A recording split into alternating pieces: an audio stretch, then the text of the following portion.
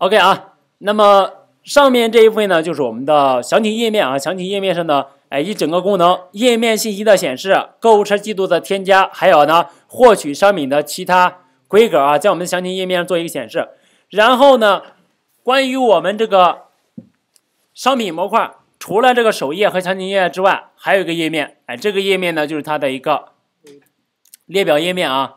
哎，这里面有一个 list 啊。哎，点击点点到这个 list，这就是哎这个列表页面。那么这个列表页面的话，我们在这里面呢，它就这个 list 点 html 啊，我们也是在这里面呢，先把这个页面给大家做一个显示啊。然后呢，找到我们这边，找到这个 list，哎，把这个 list 呢拿过来，我们先把这些没不用不到的就关了啊。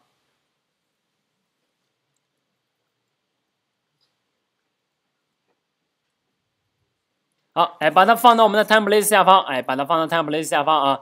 然后呢，同样的改一下这个模板，让它继承我们的 base detail list 啊。好，在这里面写上一个，这个咋了？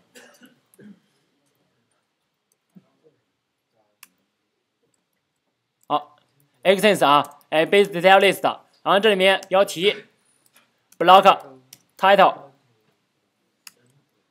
And block title，那么再往下啊，这一部分把它拿掉，哎，然后呢，这个欢迎信息、搜索框还有这个菜单栏，哎，这三部分都拿掉，然后呢，放在这个 block main content 里面，往下呢去找它的这个结尾，好，这个结尾版权信息删掉，删掉这边呢就是属于我们的 and block main content 啊，OK。那么这里面呢，就用用我们的附模板来做了啊。下面呢，写一个视图，把它显示一下啊。就在我们这边找到这个，把这一步啊收了啊。然后找到我们的这个 views，找到 views 这边呢，然后呢，在这里面定一个视图。这个视图呢，我们叫 list view 啊，就直接呢就是 define list view，好，继承于我们的 view 啊，哎 class 啊啊，写一个类对吧？哎 class 啊。那么这个呢是列表页面啊，列表页面，列表页，列表页。然后在这里面定一个 get 函数，define get self 写上一个 request 啊，它呢是显示列表页。显示列表页的话，其实呢就是把我们这个 list 呢做一个显示啊，直接呢就是我们的 return render request list 啊。OK，那么把它写完之后呢，下面我们就要考虑一下啊，分析一下，首先分析一下啊。那么我用户呢访问一列表页面的时候，我需要传过来什么信息？我需要传过来哪些信息啊？OK 啊，对吧？那么这些列表页面，你是不是应该点种类的时候跳转到对应列表页面，对吧？那你考虑一下你要传哪些信息？种类的好，对吧？哎，首先你要告诉我你显示的是哪个种类的，对吧？所以呢，在你传过来信息里面呢，你需要出现一个叫做种类的信息，比如说种类的信息呢，我们可不可以把种类 ID 传过来，对吧？哎，这部分啊种类 ID，然后再往下还需要什么？商品好，SKU，这 SKUID 是一个具体的商品，这是种类的，是不是只要这个种类的我都拿出来，对吧？所以呢，你没有必要去传一个 SKUID 啊，它不是这个商品的详情。那么，然后呢，我们给大家看一下啊，我们说这个数据是不是要分页显示？分页显示，你过来之后，你到底要显示第几页？你要不要告诉我？对吧？哎，所以呢，你在这边啊，还有一个对应的这个页码，对吧？哎，第几页你要告诉我啊？那么除了这俩之外，还有吗？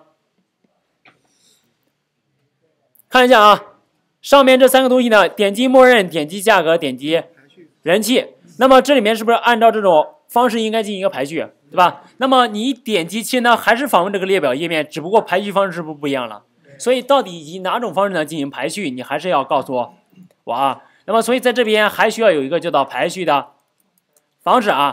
好，那么这是最终用户呢访问一个地址的时候需要呢拿过来的这三个参数啊。关于这三个参数，你知道有这三个参数之后，下面呢我们就可以呢进行这个地址的一个设计啊。你比如这个设计呢，我就可以这样啊，斜杠 list list 后面呢，哎，我要你跟上一个种类的。ID，然后我要获取这种类 ID 呢，我在配置的时候，我就可以把它捕获，对吧？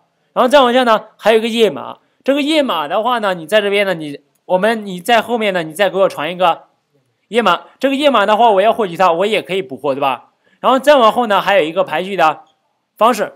那么关于这个排序方式的话，你是不是斜杠后面还可以这样弄？斜杠后面跟上一个排序的方式，对吧？哎，排序方式我是不是也可以捕获？对吧？但是啊，这种这地址这是可以做到的啊。你比如说你零，你传一个零代表什么排序方式？你传一个一代表什么排序方式？对吧？哎，这是可以做到的啊。那么同样道理，我们还可以设置其他的一种啊，比如说叫它斜杠 list 啊，然后呢种类的 id 斜杠，然后呢跟上一个页码，后面呢再来一个问号 sort，后面呢你给我传一个参数，这个参数呢就是等于这个排序的方式。那么这种是不是也可以？对吧？甚至，那么你更厉害一点，你可以呢直接。斜杠类似的，哎，你把这些参数你都跟我跟在后面，对吧？哎，都跟在后面啊。什么 a，比如说这个 type id 等于我们的种类的 id，对吧？哎，种类 id 啊。然后 and 这个 page 等于这个页码，哎，等于这个页码。然后 and 这个 sort 等于这个排序方式，这是不是也可以？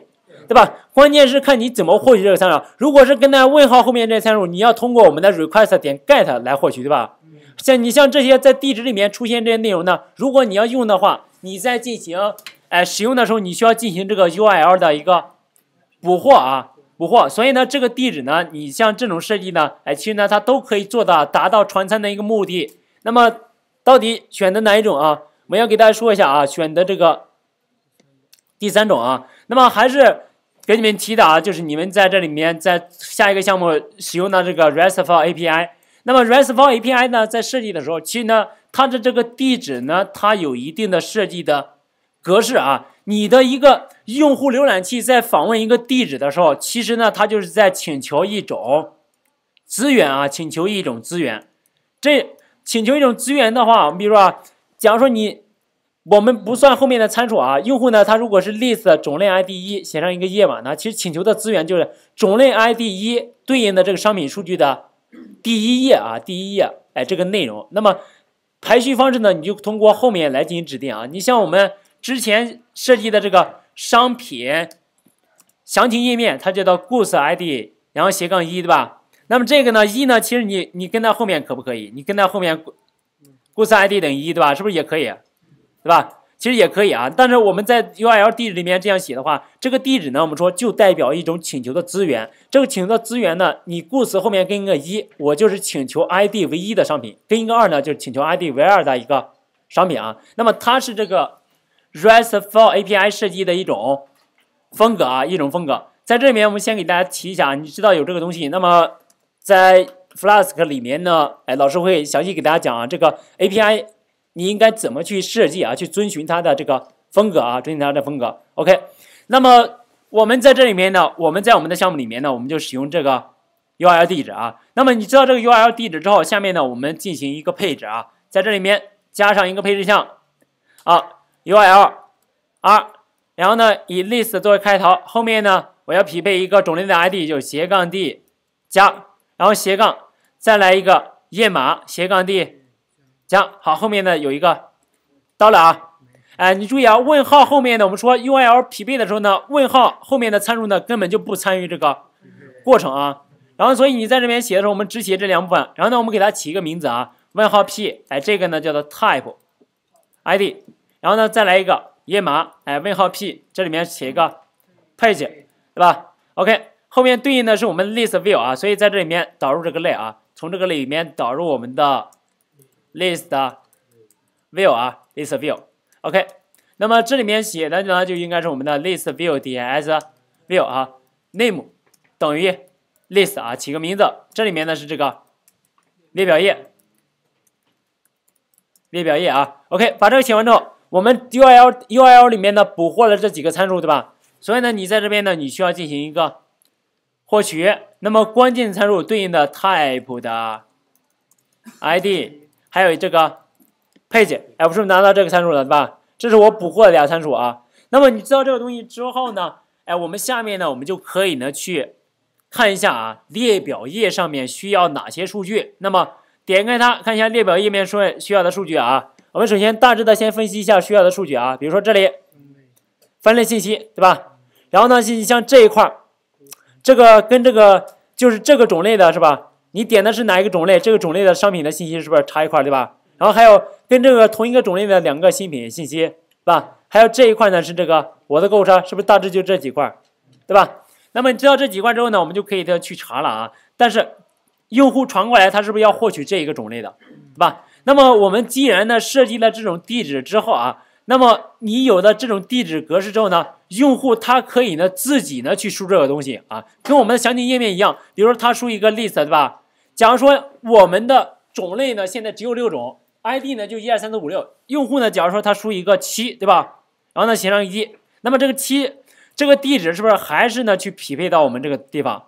但这种类 ID 是不是就没有，对吧？所以呢你要进行这个数据的一个。校验啊，那么在这里面我们就先查一下啊，我们就先获取种类的信息啊，种类信息。那么这一部分的话，其实呢，哎，有了这个 ID 之后，你就可以查了啊，查我们的这个 goods type，goods type 啊，也就是我们这里面的商品种类的模型类啊。那么在这里面查的时候呢，其实呢就 try，然后呢写上一个 type 等于。goods type 点 objects 点 get 里面呢写上 id 等于我们的 type id 对吧？如果查不到 except goods type goods type 啊点 does not exist 说明这个种类不存在对吧？不存在的话啊，我也可以像我们的详情页面一样，给你直接跳转到这个首页啊，哎写上一个 reverse，然后呢写上我们的啊 goods 冒号。index 啊，OK，哎，这里面也可以。那么现在呢，我们是校验这个东西，对吧？校验这个东西之后呢，比如说我们在这里面呢，我们呢就可以呢去哎做一个啊数据的一个查询。那么然后呢，从上往下我们开始查啊，在这里面看一下我们这个页面获取商品的分类信息。你在这里面啊获取商品的分类信息。好，直接呢就是 types 等于 goods types 啊等于 goods type。点 objects 点哦，OK，哎，那么然后呢，在这边你要注意的就是，在这里面我是不是要获取分类商品的信息，对吧？那么在这里面啊，获取分类商品的信息，哎就是获取分类商品的信息。那么这个呢，其实呢，就是从我们的 goods SKU 这个表里面是不是查数据，对吧？查的时候啊，你注意啊，就是 goods。Sq 点 object 对吧？点 filter，filter 的时候呢，哎，种类是不是就是这个种类对吧？哎，应该这个条件呢就是 type 等于我们查到的这个 type 对象，这是不是就跟它同一个种类的对吧？查出来之后呢，那么这里面呢，我们查的时候，你比如说这里面我们就写上一个啊 sqs，那你注意啊，我们在这边查的时候，我们说。你一进来这个列表里面显示的时候，它是不是一定是按照这个顺序进行排序的？是不是按照某一个顺序进行排序的？要么按照默认，要么按照价格，要么按照人气啊。所以呢，你在查出来数据之后，这个数据呢是需要排序的啊，对吧？但是呢，我们排序的方式是不是通过一个参数传过来的？我在查之前呢，我就先去获取一下这个排序的方式啊，获取啊排序的啊，获取排序的方式。好，那么这个你就可以考虑一下啊。比如说，我们在这里面，我们就定义这样几种东西啊。比如说，这个 sort 如果等于这个 default，我就按照这个，按照啊，按照默认顺序，对吧？按照默认顺序显示啊，按照默认，比如说按照默认谁呢？我就按照 ID 啊，按照默认 ID 排序。然后呢，再往下，如果 sort 等于这个，看一下这个啊，页面上面还有个价格和人气，对吧？我 sort 如果等于这个 price，我就按照商品价格排序，对吧？价格排序啊，OK。然后如果这个 sort 呢等于这个 hot 的话，我就按照商品的。好，那么人气的话啊，我们这里面我们没有人气，对吧？但是呢，在我们这个故事里面呢，我们有一个销量啊，对吧？销量比较高的是不是买买人比较多，对吧？哎，它人气就比较高，我们在这边呢，哎，就按照它啊。在这里面写上，按照商品的销量排序啊，销量排序，OK。好，那么你知道这几个之后呢，我们就做一下啊。比如说我们判断，如果这个 sort 等于等于这个 default 的话，我就按照这个默认顺序排序。那我这里面去查的时候呢，我们在这边啊，我们在这边去做的时候，所以我们在这边这个 types 我查完之后，查完之后呢，它就应该呢去做一个排序。这个排序的话，我们说直接呢是点 old by 对吧？old by 的时候呢，我可以给它写一个。id，id 啊，哎，你看到我们这里面是吧？如果这个 sort 我判断完之后啊，那么哎少一个获取对吧？先获取啊，sort 等于 request 点 get，然后呢点 get，先把这个值拿到啊，拿到之后做判断 sort，然后判断如果等于它，我按照这个 id 进行排序对吧？排的时候呢，我可以按照降序来排，我就加一个减号啊。那么首先下一种条件，elif 如果 sort 等于等于这个 price 的话，我就按照这个商品的价格呢。来排就是 goods type，哎，goods sq 点哦不，啊这里面写的 goods sq 对吧？哎，goods sq 点 objects 点 filter 啊，filter 哎，查询这个种类的信息啊，直接呢就是我们的 type 就等于这个 type 啊，OK，哎是不是这样？哎，查询完之后进行一个排序，然后再往下呢，goods sq 点 objects 点 filter 啊，然后呢 type 也是等于我们这个。type，然后查完之后排序，old by 按照价格来排，那么价格呢就叫做 price 对吧？比如说我按照这个价格从低往高来排，我就可以在在这里面呢给它写一个 price 啊，代表一个升序。最终呢，哎，这里面我们这里面我们叫 sq s 啊，这里面也是这个 sq 的 s 啊，sq s，OK。那么现在。查完之后呢，那你注意在这里面呢，我们在这里面继续，else if，哎，如果这个 sort 等于等于这个 hot 的话，是吧？按照这个商品的销量来排，我就 sqs 等于 goods，sq 点 objects 点 field 对吧？field 啊，type 等于我们的 type，然后点销量，我按照销量从高到低来排，order by 写上一个 sales。降序加一个减号啊，那么这里面我们调整一下，刚刚呢我把商品分类给删了是吧？大家把它放在我们的上面啊，继续放在上面。好，在这边获取商品分类，我们就还是呢是我们的这个 types 啊等于我们的 good type 点 objects 点 all 啊。那么你像我们这边查完之后呢，下面这一部分呢其实呢就可以呢不要了啊。哎，我们在这里面查的啊，那么看到这里面呢，我们是不是经过一个判断对吧？其实呢就获取排序方式，然后呢再查，查完之后呢，根据根据对应的排序方式呢进行一个判断。但是你要注意，在我们这里面，哎，我们在这里面不是还有个东西叫做 else？那么这个时候，如果这个 sort 不等于这三种东西，这个 sort 是不是排序方式不一样，对吧？不一样的话，我可不可以按照默认的，对吧？我可以按照默认的。那么按照默认的话，我们就可以把我们这个顺序做一个调整啊。怎么调整呢？我们把这些东西呢给它放到。下面了啊，我直接呢给它放到最后，对吧？哎，直接放到最后啊，就把这个默认的排序方式呢直接放到最后。上面我一开始判断的时候，我只判断这个 sort 是不是等于这个 price 和这个 sort，对吧？我只判断它俩。如果你等于 price，我就按照价格；如果你等于这个 sort 呢，我就等于这个 sales 啊。然后，否则其他任何情况，我们是不是都按照默认，对吧？那么这是我们的查询啊。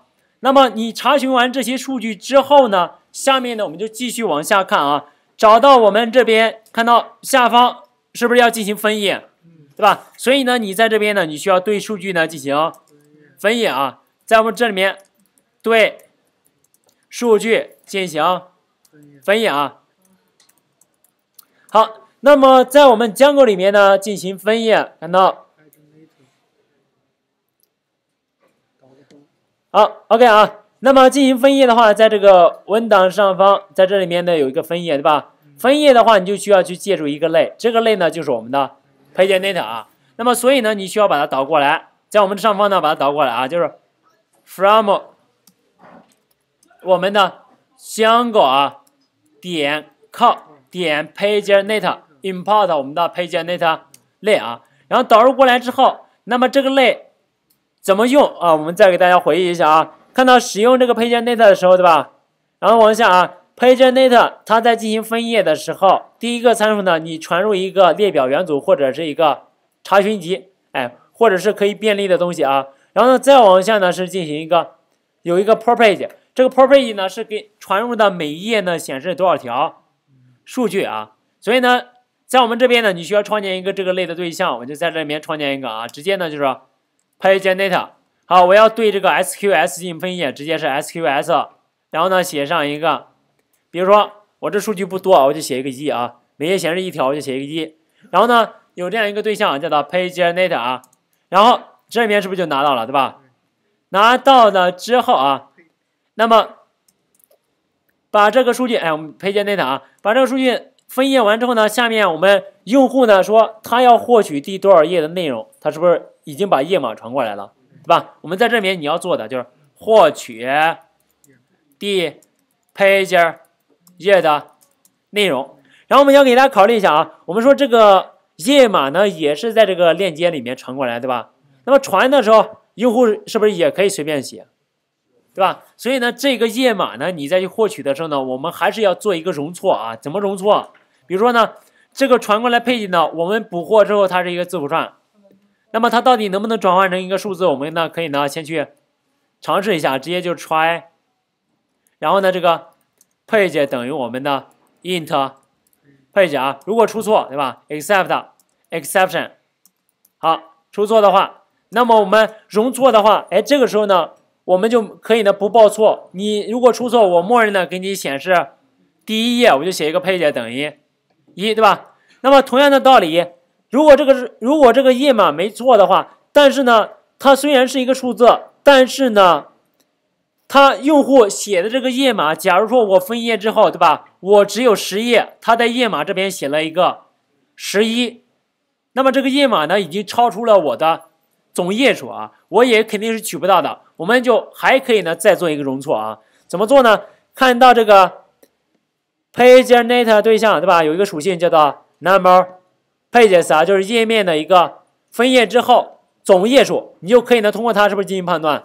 所以呢，我们可以做一下啊，直接，如果这个 page 大于我们的 PageNet 点 number pages，说明大于总页数，对吧？大于总页数，我也做一个容错，也是给你显示这个第一页啊。所以经过这个，我们是对页码呢做了一个容错处理，对吧？你这些判断完之后，这个页码是不是一定在这个范围之内？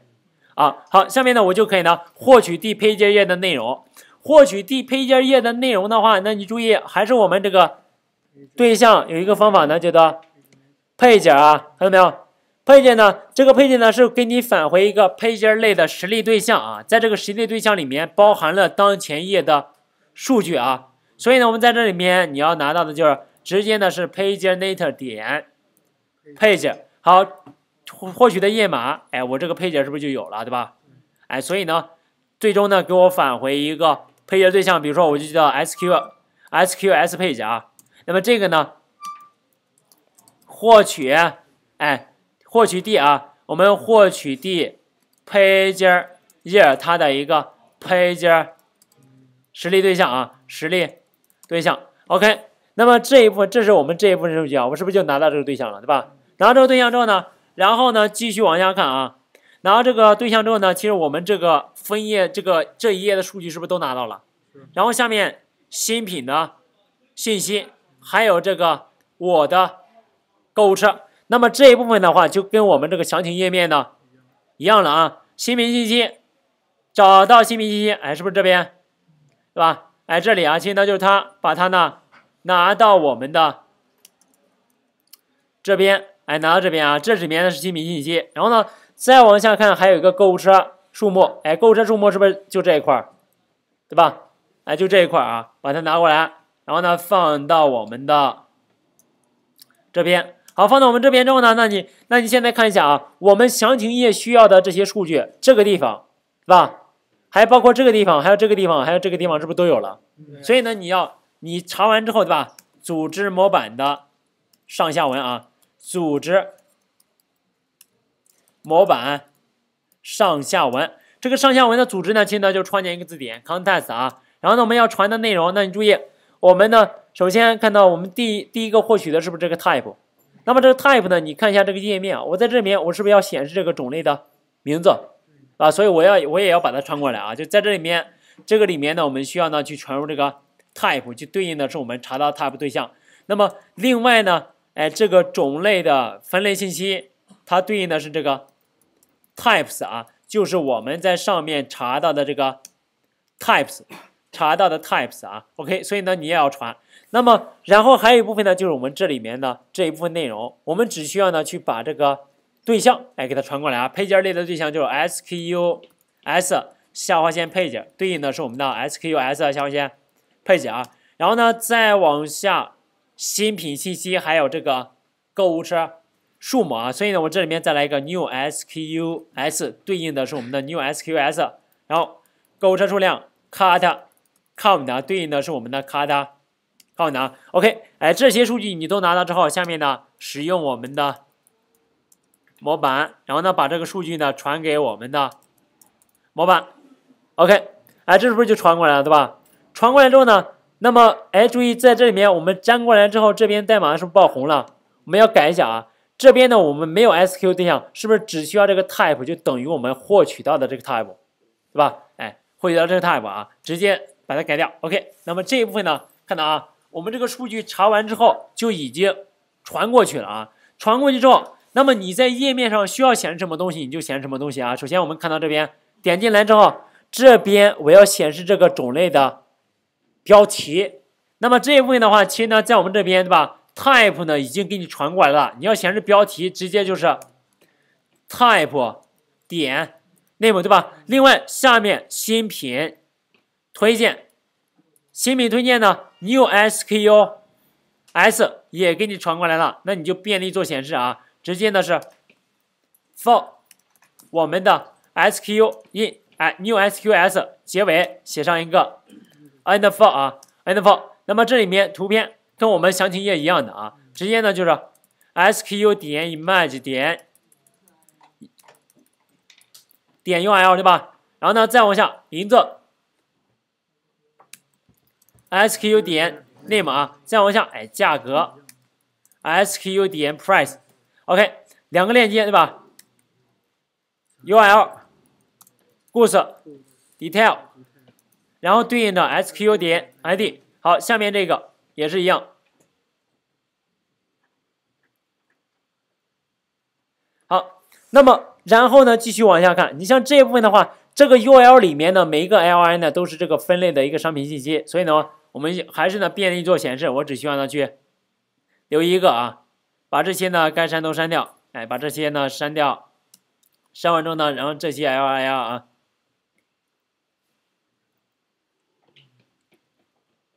好，把这些删完啊！删完之后呢，我们在这边，哎，还有一个，把这个也删掉，我们只留一个。所以在这边呢，我们就可以呢去便利去做显示了，对吧？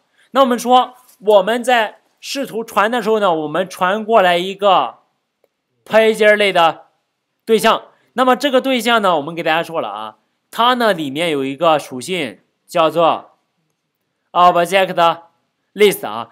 是不是包含当前页上所有对象的一个列表，对吧？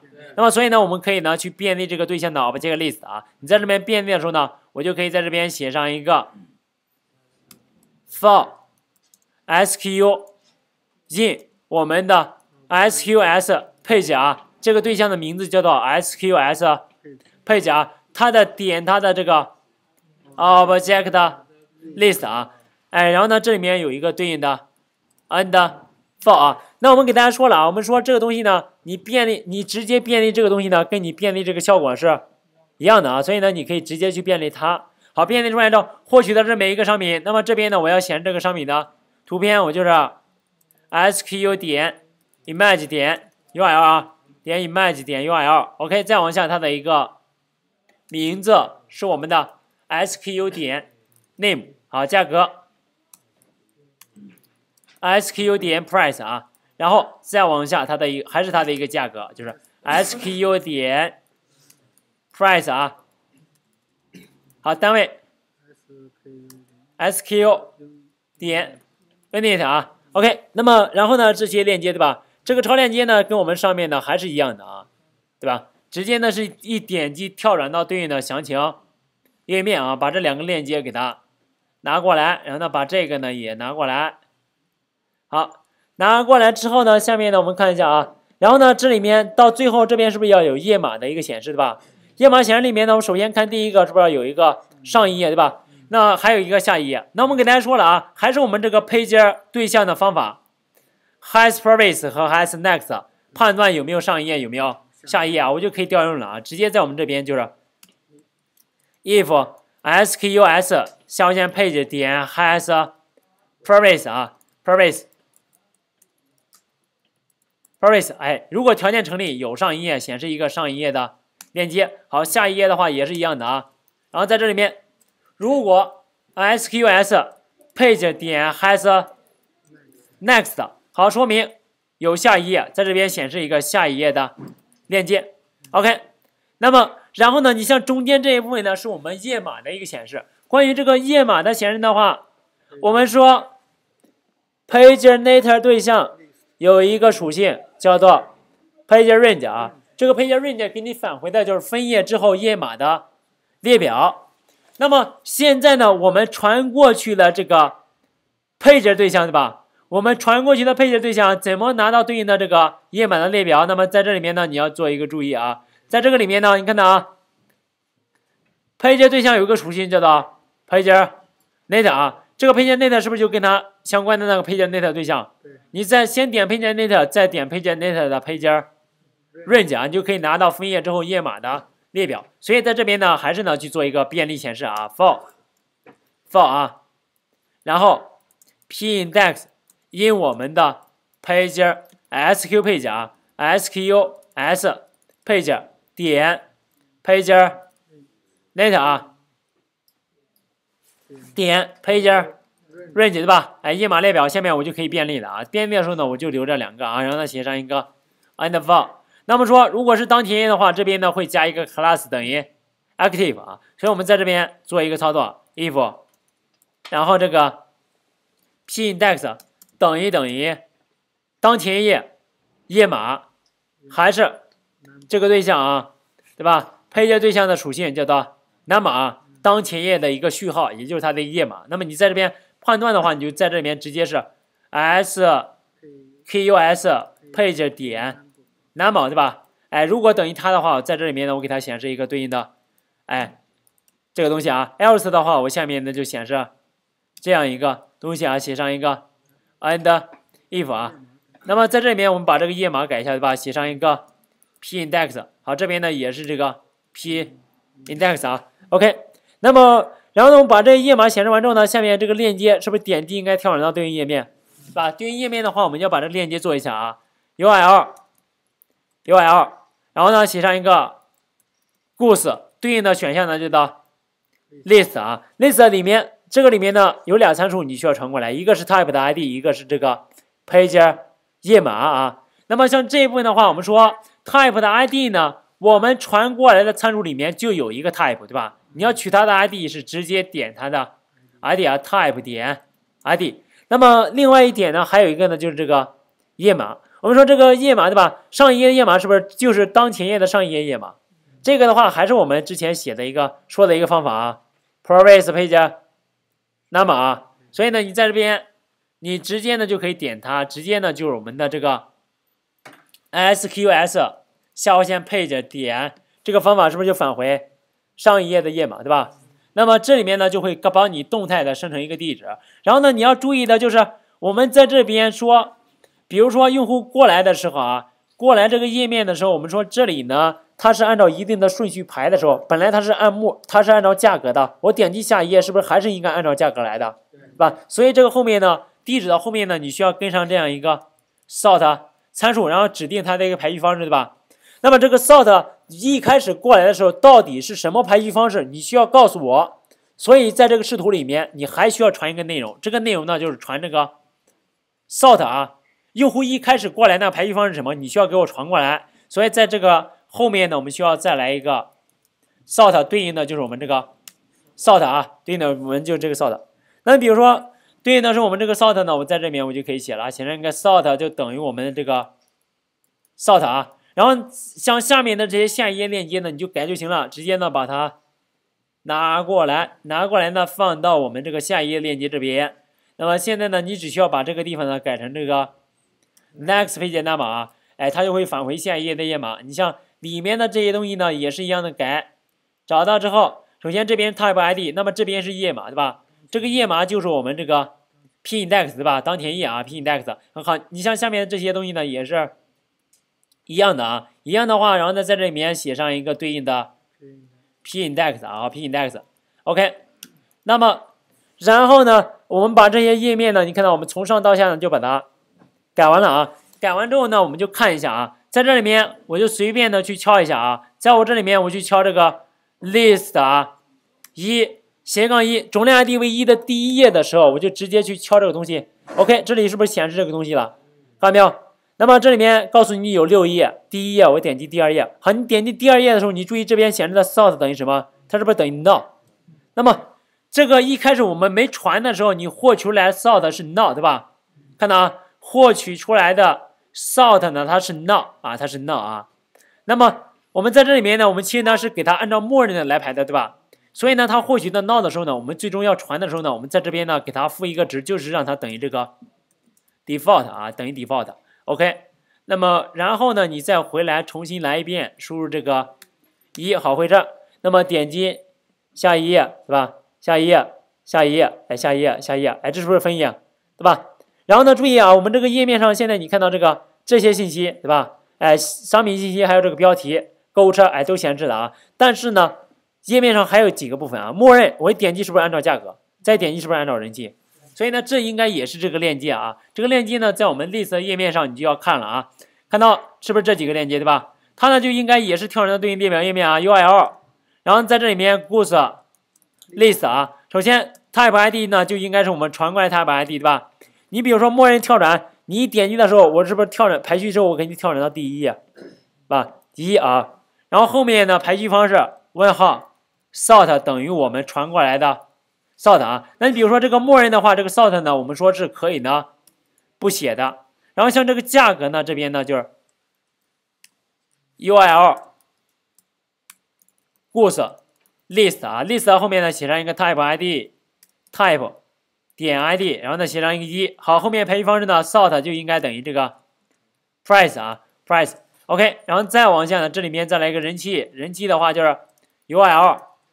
然后呢，goods list type 点 id，然后呢一后面也是问号 sort 等于这个 hot 代表一个人气啊，这里面就是我们在视图里面定义的啊，price 就是价格，hot 就是人气，所以呢我在这边我就应该写这个参数啊。然后呢你要注意，我一点我们这个页面呢，我一点击默认的时候，默认的处于一个激活对吧？我一点击价格，价格是不是变绿，对吧？所以呢它要加上一个类型控制啊，在这里面你要做一个判断。if sort 等于等于这个 default，然后给它加上一个 class 等于 active 啊，同样的道理，下面这些也是一样做判断。那么如果哎这个 sort 等于这个 price，给它加上一个对吧？如果 sort 等于这个 hot，哎是不是给它加上一个，对吧？这里面你写完之后呢，你注意在这边呢，我们就可以呢去刷新这个页面啊。首先，我们在这里面，我们就还是呢去访问这个第一页，好，回这，这第一页对吧？比如说第一页啊，我点击按照这个价格，哎，那么第一页呢是十对吧？然后再过来，哎，看到啊，它就是一个从个从低到高的一个顺序啊。那么按照人气呢，就是按照人气呢来进行一个排。那你注意，在我们这里面呢说出了一个错对吧？哎，这里面 filter 点 out by 啊，filter 啊，s l 对吧？在这里面呢 f 啊，I L T 啊，对吧？那么这个应该就没纸了啊。然后在这里面我们把它写完之后，那么在这里面呢，直接呢去刷新一下这个页面，好，是不是就显示了？对，对吧？哎，现在呢你会发现啊，我们这个详情页表页面啊，已经全部都显示了啊。然后呢，在这里面还有几个链接呢，我们要做一下的，就是你点击应该跳转到对应的一个页面啊。所以在我们这边，我们需要呢去在这里面呢找到我们的这个。页面我看一下在哪，在这个 base detail list 里面。那么在这里面应该有一个对应的链接，对吧？链接呢，这里面 URL goose list。好，你辨别出来这个 type，对吧？点它的 ID，那么跳转到第一页，对吧？我就写一个一。你跳转的时候呢，我就按照这个默认排序方式给你显示，对吧？所以我就写一个后面不传这个东西啊。那么你在这边你做一个刷新的时候，比如说刷新之后，我们现现在要到这个海信水涨，我点击，哎，是不是海信水涨，对吧？然后点击这个中间绕，哎，它就过来了啊。然后呢，再点击其他的，哎，它也就过来了啊。OK，那么这个呢，你看到啊，这就是我们这个详情列表页面啊，它的一个显示啊，它的一个显示。那么现在呢，你会发现啊，就是我们商品模块这几个页面都是这个特点啊，它没有什么新增或者修改，对吧？它就是你从表里面呢把这些数据你用到哪些，你查哪些，对吧？查出来之后，你在页面上呢做一个相应的显示啊，做一个相应的显示。OK，那么这里面是 list 啊。